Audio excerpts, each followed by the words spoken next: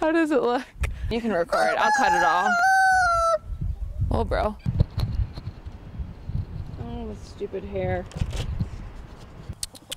All right, three, two, one. Oh, it bit me. three, two, oh boy. Here they come.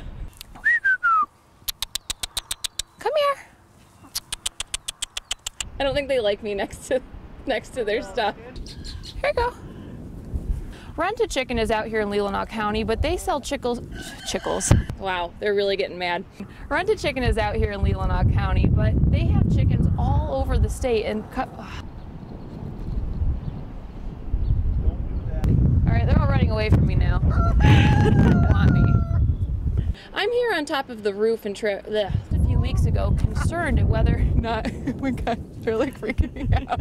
Right, right, be just here, fine. and we can. That's where they go in and out. Yep, and we could move. So they don't like me here. Oh, it was so close. Next to me, you can see there's obviously a honey bee hive. Now, this business is going to be opening up in just a few weeks, and like many other pe- beer. Ugh, ugh, ugh.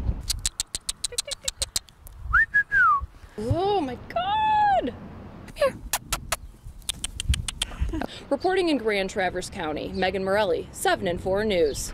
For more information on how some of these changes could impact you, you can head to our website at upnorthlive.com. Reporting in Grand Traverse County, Meghan Morelli, 7 and 4 News. Yeah, that was that. We're done. it pecked out of my hand at the very last second. That was perfect.